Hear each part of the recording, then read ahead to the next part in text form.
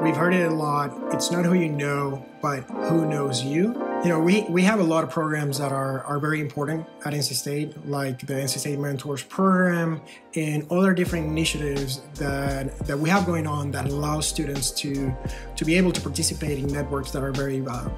Most professionals spend hours and hours in their email. And luckily, when you're part of a university, you were given what I called a golden key that NCSU email is your key to open doors that haven't been opened before. Most of the successful people out there can relate to the pain points and the and the struggle of a student. So that's when you really need to be able to leverage your email, that NCSU address to make magic happen. There are a couple key takeaways from this and and in reality um, number one is that you need to stand out.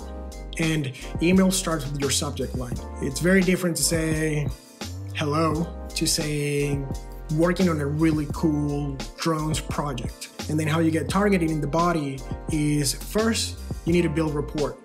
Who are you? Why should I be listening? Very similar to when you go to the doctor. Like, here's where it pains, and here's where I could use some help and the person is going to relate to that because they've been there. Remember that they've been there before. And then what you do then for your structure is to get it very targeted. You know sometimes is much better to send a targeted email with a couple bullet points on what are you trying to accomplish and then you close out that email by saying i would love to have five minutes of your time.